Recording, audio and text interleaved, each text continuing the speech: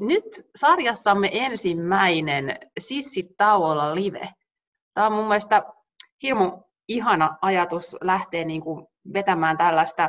Tutustuttiin PreHealthin kanssa ja, ja ruvettiin miettiä, että olisi ihana järjestää teille tällaista pientä piristystä tähän arkeen, koska nyt tuntuu, että on marraskuu ja pimenee ja, ja on niin kuin tosi ahdistavaa, kun ollaan etätöissä kaikki eikä nähdä kollegoita eikä paljon muutakaan pääse tekemään, niin jos näillä meidän sissien tapaamisella saataisiin vähän väriä tähän elämään ja sitten vähän jumpataankin yhdessä.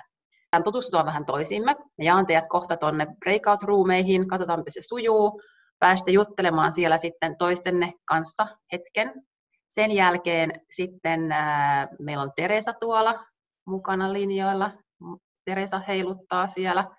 Joo, niin Teresa kertoo vähän omasta työstään ja, ja, ja mitä niin kuin sulle siellä etätyökonttorilla tällä hetkellä on meneillään ja miltä työ tuntuu ja vähän virkistysvinkkejä jaetaan tässä vielä sitten keskenämme. Ja tota, sitten kerrot ehkä myös siitä, että mitä digialla teillä sitten ää, tällä hetkellä työn hyvinvointiin tehdään toimenpiteitä ja miltä tuntuu muuten sitten tämä aika. Ja, ja sitten sen jälkeen meillä onkin PreHealthin pieni taukojumppa. Ja sitten lopuksi voidaan vähän keskustella, että miltä tämä kokonaisuus tuntuu. Meillä on tänään haastateltavana Teresa, johdon assistentti Digialta. Teresa, ole hyvä. Moi, täällä ollaan. Nyt kuuluuko? Kuuluu. Hyvä, hyvä kuuluu. Osasin avata mikrofonin. Joo, siis Teresa Laaksola Digialla ollut kohta kolme vuotta johdon assarina. Ja kiva päästä tänne puhumaan. Mä yritän nyt, että mä en puhu mitenkään pitkästi, mutta tota, mitäs meidän oli nyt Taija teemat tarkoitus no. käsitellä? No sä kerrot vaikka, meitä varmaan kiinnostaa kuulla, että, että mitä tuohon sun etätyöarkeen kuuluu, miltä tuntuu nyt olla töissä tai, tai ylipäänsä tämä korona-aika niin, no mähän on siis ollut niin kuin maaliskuusta asti etänä, että onkohan mä käynyt noin viisi kertaa toimistolla. Ja meillä on kyllä koko digi ja meitä on siis Suomessa noin 1300, niin melkein kaikki tekee etänä. Et kyllä sen niin kuin kevään alkuhämmennyksen ja kaauksen ja sen kaiken jälkeen tämä syksy on jotenkin tuntunut nyt aika luontevalta olla niin kuin etänä, että tähän on, on niin kuin jo niin tottunut ja joskus kaverin kanssa puhutaan, että jopa laitostunut, mutta mm. sitten niin kuin, kyllä niitä sosiaalisia kontakteja kaipaa paljon ja sitten huomaa, kun on käynyt sen joku viisi kertaa toimistolla, että sieltä kun lähtee ja on kohdannut niitä ihmisiä, että wow, miten paljon niistä sai virtaa, tai jopa tämmöisistä, niin kuin, että vaikka me ei olla nyt fyysisesti läsnä, mutta että mä näen teidän kasvot, niin että miten paljon siitä tulee jotenkin semmoinen energinen fiilis, että ei sitä kyllä niin kuin mikään etäyhteydet päihitä niitä kontakteja. Niin se on aika huolestuttavaa munkin mielestä just se, että, että, niin kuin, että nyt mennään, kun videoilla, videoilla keskustellaan, niin sitten kaikilla on vielä ne videot pois, niin musta tuntuu ainakin, että siitä jää tosi paljon pois sitä niin, ja niin jää semmoinen kohtaisuutta ja sitä, niin, sitä niin. kaipaa. Niin kaipaa semmoista. Ja nyt on musta mielenkiintoista sit niin kun, mitä meilläkin paljon puhutaan, että mitä sitten kaiken tämän jälkeen, että mitä se on se uudenlainen arki, että kyllä kovasti niin kuin puhutaan, että ei palata enää siihen, että viisi päivää viikossa toimistolla, että miksi me kaikki tuppauduttaisiin sinne aamuruuhkiin ja muuhun, että kun etätyö sujuu näin hyvin, niin kuin ainakin kyllä. tällä alalla, että se on nyt semmoinen aihe, joka kyllä niin kuin pyörii tuolla keskusteluissa ja pohdinnassa, että se on itsekin niin kuin kyllä niin kuin mielenkiinnolla odotan, mikä on se niin kuin lopputulema siitä sitten. Joo. Hyvä, hei, te olette löytänytkin tuon chatin, laittakaa ihmeessä kommentteja sinne, niin, niin Teresakin saa sitten nähtäväksi niin, sitten joo. jälkeen. Niin ja kysykää ja keskeyttäkää, että jos, niin. on, jos on jotain, mitä tulee mieleen. Mutta Teresa, ää, miten sä pidät itse huolta siitä sun jaksamisesta? Me haluttaisiin kuulla nyt sulta vähän vinkkejä tai ainakin nähdä näkemyksiä, että miten, miten muut tekee. niin. No tuossa oli itse asiassa tuli hyvin nyt, kun äsken jokainen esittäytyi, niin tuli semmoinen, että niitä energisoivia piikkejä, että on ne jotkut kävelylenkit tai jotkut tämmöiset, niin, ja mulla itsellä tuli se liikunta, että kyllä mulla on erityisen vahvasti se liikunta, mikä mulle antaa sitä virtaa ja miten mä jaksan, että mulla on niinku, mitä mä sanoisin, mä kyllä harrastan liikuntaa noin viisi kertaa viikossa. Ja sitten tuntuu, että jopa välillä niin on haasteita niiden välipäivien pitämisessä. Mä kyllä haluaisin ehkä jopa joka päivä harrastaa jotain, mutta sitten on, on kuitenkin lapset ja mies ja pitää niitä lepopäiviäkin olla. Mutta just te, joku siitä meidän äsken esittelyryhmästä sanoi, että käy lounastunnilla puolen tunnin kävelyn. Minusta se on niin tosi hyvä, että se keskeyttää tämän etätyöhomman ja se puolen tunnin kävely on jo semmoinen, joka antaa niin tosi paljon energiaa virtaa. Et meillä on itse asiassa Digialla nyt tämmöinen marrasputki konsepti. Se on niin kuin, että jokainen digialainen on haastettu mukaan, että pitää puolen tunnin ajan ulkona liikkua joka päivä. Ja sitten tuossa oliko se toissa päivänä, kun mulla, oliko mun lapsi ollut kipeä ja muuta ja tihkusade ja muuta, mä että mä en nyt, aha, mies siellä viuhahtaa, vaikka ei saa tulla. Mutta pääsee, että siellä on housut jalassa. Kyllä, ja paita päällä. niin. Mutta siis, joo, että on haastettu jokainen digialainen nyt siihen puolen tunnin ulkoiluun. Ja, että se, kyllä sitten just sanoit itse, kun väsytti se toissa päivänä näin, mutta kun menin, niin kyllä siitä sai niin paljon virtaa, että mm. on se niin tärkeää se ulkoilma ja liikkuminen. Niin, olin Teresa meidänkin lenkki siellä metsässä, mikä otettiin videolla, niin se oli kyllä Niin, niin. Et vaikka silloinkin sato vettä vähän ja näin, mutta se oli hauska ja sen jälkeen jäi niin hyvä fiilis, semmoinen energinen ja muuta. Että... No, mutta hei, kerro, oliko sulla vielä jotain, mitä tota, siellä teillä työpaikalla tehdään? Miten? No joo, mullahan on täällä itse asiassa lista, mutta mä yritän puhua lyhyesti. Mä ajattelin, että jos mä jotenkin toisin tähän enemmän semmoisia konkreettisia vinkkejä ja, tai niin kuin asioita, mitä meillä on ollut, niin jos niistä sitten saisi enemmän irti, niin mä aloitan sieltä maalis-huhtikuuta, kun tämä kaikki alkoi, niin meillä oli sitten semmoinen, että toimitusjohtajan viikkotervehdys, hän siis itse otti kännykällä video itsestään semmoisen kolmen minuutin jonkun puheen ja sitten se julkaistiin Intrassa viikoittain. Ja se oli tosi suosittu, varsinkin siihen alkuun, kun kaikki oli niin jotenkin, ei tiennyt yhtään mitä tuleman pitää ja tuntui raskaalta ja vaikealta, niin siitä tuli hyvää palautetta.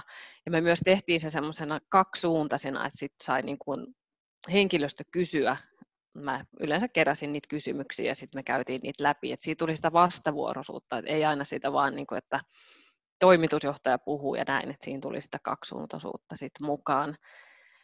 Ja sitten keväällä, tai oikeastaan kesällä sitten jokainen digialainen sai semmoisen riippumaton kesälahjaksi ja sitten kannustettiin niin kuin lepoon ja rentoutumiseen lomalla ja pyydettiin jakamaan tämmöinen riippumatto kuva itsestään mm-hmm. ja sitten äänestettiin niistä kuvista paras ja se voittaja sai itselleen sitten niin kuin vapaa-päivän lahjaksi, että se oli niin kuin, liittyi siihen rentoutumisen teemaan.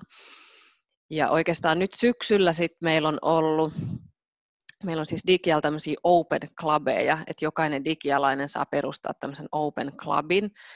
Ja siellä on, on liikuntaa, on shakkia, on viskimaistelua ja muuta, niin ne on siirretty suurelta osin Teamseihin, että meillä on ollut Zumbaa, ja sitten mä kuulin, että on ollut jotkut festaritkin, en tiedä miten ne on toiminut, mutta ja sitten on just tänään sain kuulla, että osa on lähes niin ulkoilemaan yhdessä joku poniratsastus, että näissä on joskus joku oma vastuu mukana, mutta jos ne on sitten joku tuommoinen pienempi, niin ei välttämättä ole. Ja nyt tosiaan on se marrasputki tässä marraskuussa, ja tällä, tai tässä kuussa on myös lanseerattu, että kaksi kertaa viikossa tämmöinen 15 minuutin jumppa Teamsissa, jonka vetää yksi digialainen. Se on alkanut tällä viikolla, että siinä oli kuulemma nyt tiistaina jo tosi paljon osallistui ja tuli kiitosta, että 15 minuutin, niin kuin, että jokainen niin kuin pystyy sen järjestämään aika hyvin.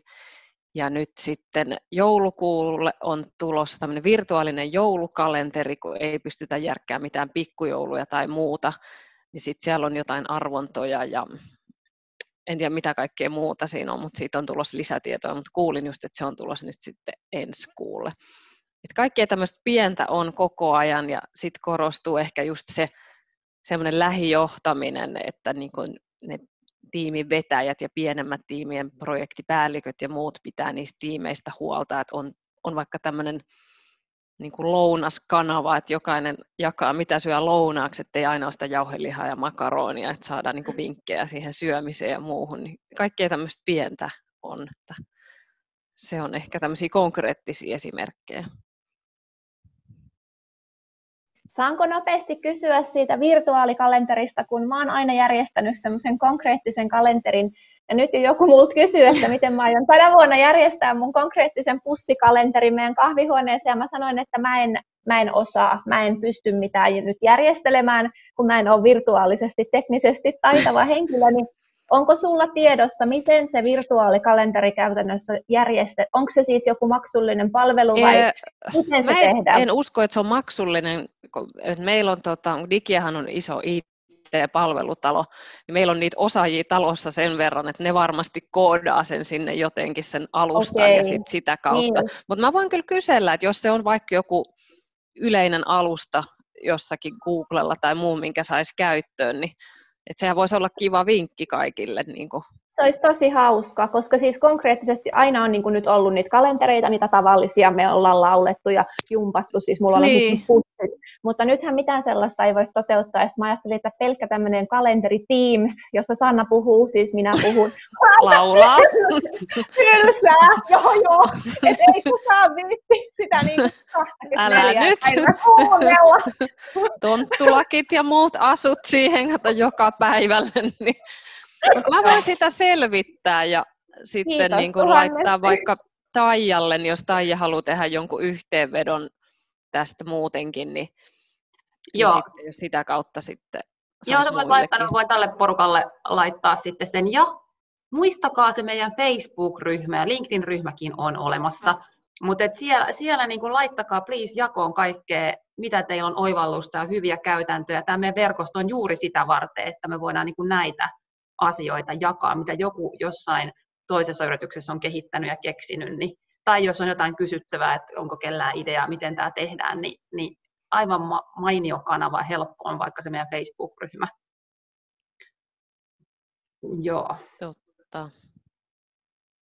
Joo, ja sitten äh, muuten palautelomakkeella mä kysyn kanssa sitten, nyt kun tässä tuli, kiva kun olette laittanut tuonne chattiin näitä teidän äh, ajatuksia myös, mutta laittakaa sinne palautelomakkeelle myös niin kuin näitä teidän vastaavia kokemuksia, mitä Teresa nyt tässä toi esille, että mitä teillä on tehty, niin mä sitten voin jakaa myös niitä teidän kesken, jotka olette ollut mukana, niin, niin saata siitä sitten myös vähän, vähän lisää vinkkiä toisilta, mutta mä ainakin itse uskoisin, että just niin kuin tämän tyyppiset kokemukset, mitä muilla tai muut on tehneet, niin on niin kuin tärkeitä jakaa ja kuulla tai mielenkiintoisia. Ja kiitos Teresa. Kiitos. Tämä oli oikein ihanaa, kun tulit meille juttelemaan. Ja Ilman muuta, oli ilo tulla. Lisää innokkaita jakamaan meidän kanssamme näitä asioita sitten, jos päästään jatkamaan tätä, tätä meidän, meidän sarjaa. Mutta tota, me voitaisiin nyt siirtyä sinne meidän taukojumppa puolelle. Ja Jessica, oletko valmiina siellä? Ää, Jessica, kerrotko meille Prehealthista ja, ja sitten Joo. Jumppaliikkeitä, kiitos. Yes, loistavaa. Hei, ensinnäkin kiitos Taijalle, että, että ollaan mahdollistettu tämmöinen ihan mahtava yhteinen hetki. Joo, hei, mä voisin ihan muutamalla sanasella kertoa itsestäni ja sitten mä kerron nopeasti tästä meidän Prehealth-yrityksestä ja sitten me lähdetään vähän jumppailemaan ja tuomaan sitä paljon kaivattua energiaa, mistä tässä paljon puhuttiinkin yhdessä. Mä oon tosiaan tämmöinen pitkän linjan liikunta-alan ihminen, jo kohta 15 vuoden ajan toiminut liikunta-alalla ja olen koulutukseltani fysioterapeutti. Ja tällä hetkellä tosiaan toimin tässä Prehealth Oyssä. Toimitusjohtajana olen tämän yrityksen perustaja ja me toimitaan täällä pääkaupunkiseudulla, mutta me tuotetaan siis liikunta- ja hyvinvointipalveluita ihan ympäri Suomen, sillä me tehdään tälläkin hetkellä tällaista etäenergiapalvelua. Ja tämä etäenergiapalvelu on nimenomaan tarkoitettu yrityksille. Ja tälläkin hetkellä tosiaan vedetään tämmöisiä taukoliikuntoja ja hikijumppiakin etänä erilaisille yrityksille. Meillä on muun muassa Nordea ja verohallinto ja sitten meillä on sähköyhtiö Helen ja sitten meillä on myöskin tämä Profit Software, jolle me vedetään englannin kielellä taukojumppia ja ollaan tosiaan sitten tehty tämmöinen etäenergia-konsepti. Me haluttiin nimenomaan tuoda sitten ihmisille sinne kotioloihin vähän energiaa päivään, kun tiedetään, että varsinkin näin syksyaikaan, nyt kun tämä korona valitettavasti vielä jatkuu, niin, niin varmasti on vähän synkkää välillä. Mutta me meidän yrityksessä tuotetaan erilaisia palveluita. Me tehdään myöskin ihan tämmöistä perinteistä personal training palvelua ja sitten meillä on myöskin tämmöisiä etävalmennuspalveluita, että halutaan mahdollistaa sitten tällaisen ihan videoyhteyden kautta eh, ihmisille erilaisia valmennuksia yksilöllisesti. Mutta tuosta etäenergiasta mä voisin vielä muutaman sanasen sanoa teille nyt, kun te olette siellä eri yrityksissä edustamassa yrityksiänne ja, ja ehkä mietitte, että miten tällaisia asioita voisi sinne omaan yritykseen viedä, niin se, mikä tämmöisessä etäenergiapalvelussa on ihan parasta, on just nämä yhteiset hetket, eli tämmöinen live-jumppa tuo sitä yhteis- yhteisöllisyyttä ja, ja toki tämä on niin kuin jotenkin virkistävämpää ainakin omasta mielestä niin kuin semmoinen joku sovelluksessa tekeminen. Eli tämä on vähän niin kuin sen oman työporukan yhteinen juttu. Ja totta kai myöskin sitten se, että näitä pystytään räätälöimään täysin teidän yritykselle ja, ja teidän porukalle sopiviksi. Että on mahdollista tehdä tämmöisiä lyhyempiä taukojumppia tai sitten ihan tuommoisia pidempiä hikijumppia, kaikkea siltä väliltä. Eli erittäin tämmöinen räätälöity palvelu ja, ja voi sitten aina keskustella, että mikä on kellekin paras mahdollinen tapa tätä toteuttaa. Ja multa sitten saa lisää tietoa, jos, jos haluatte tästä vielä kysellä. Mutta tänään me otetaan vähän energiaa tähän päivään. Ja mun taukojumpat alkaa aina semmoisella hetkellä, missä kaikki työpölyt niin sanotusti tältä päivältä karistetaan sieltä hartioilta. Ja me aloitetaan meidän taukojumppa tänään pienellä hengitysharjoituksella. Meillä on kaikilla ehkä vähän pinnallinen hengitys siellä menossa, kun on paljon asioita mielessä niin niin sanotusti maadoitutaan tähän hetkeen ja sitten me otetaan pikkasen liikettä sinne keholle. Ja nyt jokainen saa päättää, haluaako pitää videon päällä vai laittaa pois. Minulle ei ole mitään väliä. Jos tuntuu, että ei halua näyttää omia jumppaliikkeitä, niin se on ihan ok mulle. Eli kunhan jokainen siellä tekisi nyt näitä liikkeitä, mitä lähdetään tekemään. Okei, rakkaat toimistosissit, oletteko valmiita? Mä laitan tuossa nyt penkin tuonne vähän kauemmas, niin te näette mut paremmin. Hei, aloitetaan sillä, että sä oot siellä varmaan istumassa jossakin omassa spotissa, niin ota semmoinen hyvä ryhdikäs istuma-asento. Ja jos vaan mahdollista, niin tuo jalkapohjat sinne maahan, oikein silleen tukevasti, ota hyvä semmoinen ryhtiasento ja katse sinne eteenpäin, laita ihan hetkeksi silmät kiinni. Sun ei tarvii nyt tällä hetkellä nähdä mua. Tuo kädet sinne jalkojen päälle, ja lähdetään ottamaan semmoisia syviä hengenvetoja sisään. Nenän kautta oikein pitkä hengitys. Ja sitten peitä toisella kädellä toinen sierain ja päästä ulos hengitys sieltä vain toisesta sieraimesta ulos. Eli pitkä uloshengitys, jolla me saadaan pidennettyä uloshengitystä ja saadaan rauhoitettua hermostoa. Ja sä voit ottaa nyt ihan omaan tahtiin sieltä nenän kautta syvä hengitys ja toisesta taas ulos. Jos sulla on nenä tukossa, että et pysty nenän kautta, niin sitten voit sieltä suun kautta tehdä ihan saman asian. Eli muutamat sellaiset oikein syvän hengitykset ja keskity täysin siihen sun omaan hengitykseen. Nyt tämä on sun hetki. Nyt sun ei tarvitse miettiä työasioita muutamaan minuuttiin, vaan anna sun energialle voimaa, sun keholle voimaa. Vähän aikaa vain olla tässä hetkessä. Muutama syvä hengitys vielä. Nenän kautta sisään ja toisesta ulos. Anna hartioiden tippua. Ota vielä yksi hengitys.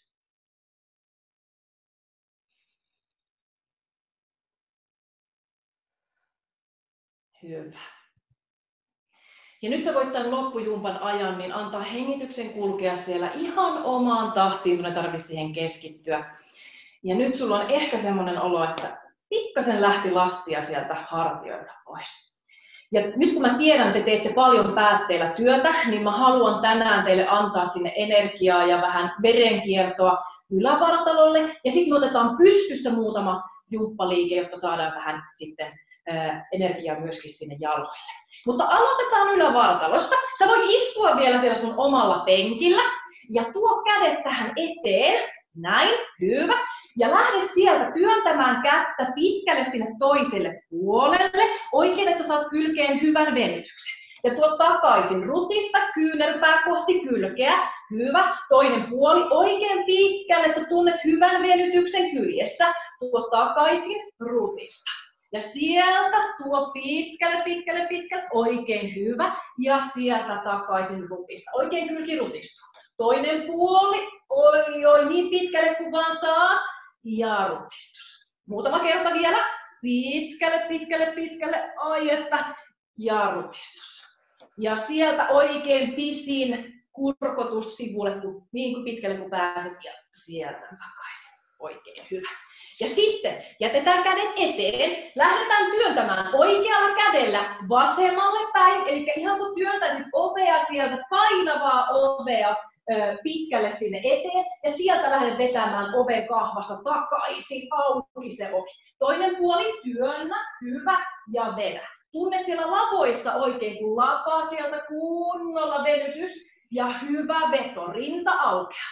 Työnnä, ja muistakaa, hengitys kulkee siellä mukana. Ja työnnä, hyvä, vedä, vedä oikein pitkä lapa sinne kohti selkärankaa. Muutama työntö vielä. Ja muistakaa, hengitys kulkee. Ei ole mitään väliä, kuinka hengitys sieltä tulee, kunhan se tulee. Hyvä.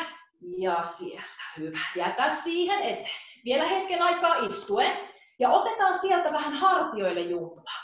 Eli nosta hartia sinne korviin. Eli nyt on ihan saa nostaa kunnolla korviin. Ja vie hartiat taakse ja paina alas. Eli oikein ajattele, että työnnät taas jälleen kerran käsillä sieltä lattiasta läpi. Eli nosta korviin, vie taakse ja paina alas. Ihan vähän niin kuin sellainen rutiina voisi kuulua siellä. Mahdollisimman iso, rauhallinen liike. Kunnolla korviin, hyvä, ja vie takaisin alas. Ja rinta on oikein rottingilla. Eli kun me tuodaan sinne hartiat ylös ja viedään alas taakse, niin rinta säilyy kunnolla auki. Hyvä oikein sieltä pissi tötterön alas ja vielä korviin. Hyvä ja alas. Hyvä. Nyt me ollaan saatu hyvin sinne niskahartiaseudulle ja nyt meillä on myöskin siellä vähän rangassa kiertoa, mikä on erittäin tärkeää. Muistakaa, kun te teette istumatyötä, niin se kiertoliike on tärkeä. Hiltä ylös, Otetaan penkki tuolta kokonaan pois. Ja sitten me otetaan vähän sinne alavartalolle liikettä. Hei, sä voit ottaa semmoisen lantion levyisen kyykkyasennon. Hyvä. Ja me tuodaan kädet tänne eteen. Näin. Mä tuon tähän sivuttain, te näette. Ja nyt me lähdetään ihan hissukseen hitaasti kyykkäämään. Tuut sen verran alas, kun sä pystyt. Hyvä. Ja täällä alhaalla nouse varpaille siten, että kantapää nousee ilmaan tuo kantapää alas ja sieltä hitaasti ylös. Jos tarvii pitää tukea, se on ihan sallittua, mutta hitaasti, hitaasti alas, varpaille, tuo takaisin kantapäät alas ja hitaasti ylös. Oikein, että sä tunnet siellä reisissä työn. Hitaasti tuon niin alas kun pääset. Hyvä. Ja sieltä ylös hitaasti, vaikka tekisi mieli nousta kauhean nopeasti. Hyvä. Ja vielä oikein hienosti mä näen täällä tosi hyvin jumpataan. Loistavaa ja hitaasti ylös. Muutama toisto tehdään vielä. Ja oikein hengitys kulkee, selkä pysyy suorana. Varpaille ja sieltä kantapäät alas ja ylös. Tehdään yksi vielä yhdessä. Alas. Hyvin tulee. Varpaille. Kantapäät alas. Ja sieltä ylös. Oikein hyvä. Nyt jos sä haluat, sä voit ottaa tuolin, jos sä tarvit vähän tasapainoa. Nyt me lähdetään tekemään pikkasen sinne toiselle jalalle työtä. Eli sä voit ottaa sieltä tukea tai voit olla ilman tukea. Tuodaan polvi sinne kohti rintaa. Eli nosta polvi sinne pitkälle rintaan.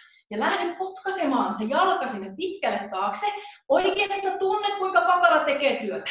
Ja sieltä pysty asento, polvi tulee ylös, ja potkaset taakse. Sillä on oma tahti, voit tehdä omaan tahtiin. Polvi mahdollisimman ylös, kunnon potku taakse. Ja sieltä vielä. Ja sä tunnet, kun sä potkaset, kantapää johtaa liikettä. Sä tunnet hyvän pakaran aktivaation.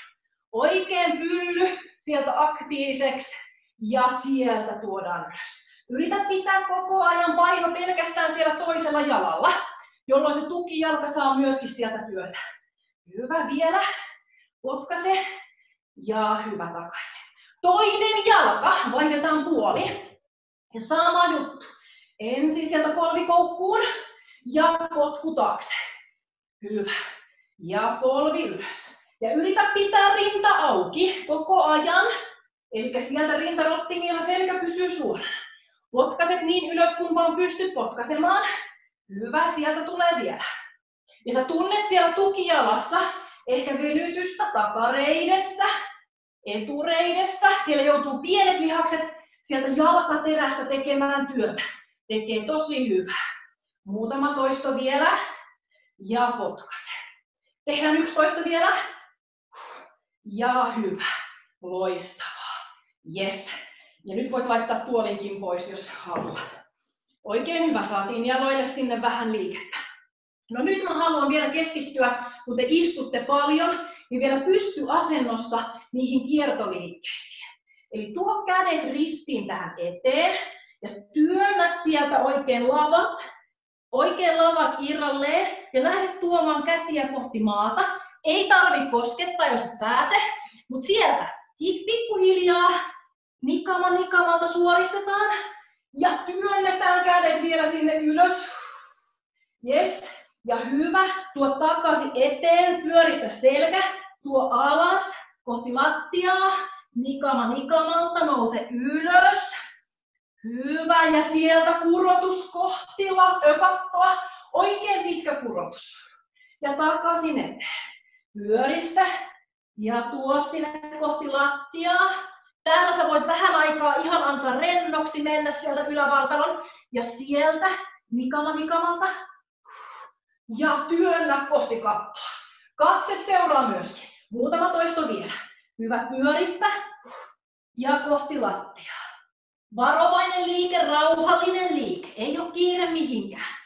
Ja sieltä kohti kattoa. Hyvä, kerta vielä. Ja tuo eteen pyöristä. Ja sieltä alas. Ja nikama nikama. Ja nyt oikein niin korkea kurotus kuin ikinä saat. Kurota, hyvä. Ja sieltä tuo kädet sinne kehon vierelle. Oikein hienoa. No sitten otetaan pikkasen vielä kiertoja pystyasennossa lisää. Eli tuo sieltä käsi, oikea käsi vaikka ylös. Ja lähde liikuttamaan vasenta kättä kohti sitä vasenta reittä niin pitkälle kuin pääset. Ja tuo täältä etukautta takaisin ylös. Ja toinen käsi ylös. Vasen käsi ylös. Ja oikea käsi sieltä liukuu. Ja sieltä oikein kautta pyöristys. Ja tuo ylös. Ja vielä mennään. Oikea käsi ylös, vasen liukuu vasenta reittä. Ja sieltä vasemman kautta, hyvä tuot sieltä ylös. Hyvä rinnan aukaisu. Toinen puoli, vasen käsi. Oikein liukuu. Ja sieltä etukautta ja ylös. Hyvä ryhti. Toinen puoli. Vielä muutama toista. Liuta niin alas kuin pystyt. Ja etukautta. Hyvä selän ojennus. Pari vielä. Selkärangalle on tärkeää antaa sitä liikettä. Kerta vielä. Toinen puoli. Liukutus.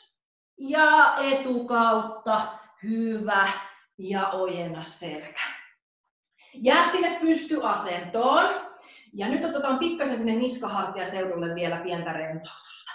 Nyt sä voit laittaa vasemman käden sinne sun oikealle olkapäälle. Näin. Ja anna sieltä sun vasemman korvan kohti vasenta olkapäätä. Ihan, anna pään olla täysin rentona. Saat hyvän venytyksen sinne kaulaan, niskaan. Anna hetken aikaa olla, hengittele rauhassa. Ihana venytys, sä voit painaa kädellä sen verran kun tarvii. Jos ei tarvii, niin voi jättää käden pois. Hyvä. Ja tuo sieltä etukautta Pyöräytä sieltä takaisin paikalle. Varovasti. Toinen käsi, eli oikea käsi sinne vasemmalle olkapäälle ja sama juttu. Oikein ihanasti saadaan venymään. Sitä vähän aina sitä niskahartiaseutua jännittää, kun istuu pitkään paikalla. Ja sieltä etukautta pyöräytys. Tehdään kerta vielä molemmat puolet. Ja sieltä taas vasen käsi, oikea olkapää ja korva. Ja sä voit vähän aktiivisestikin työntää sitä korvaa, jos sä haluat voimakkaamman venytyksen. Hyvä, ja sieltä etukautta. Yes, ja vielä se toinen puoli.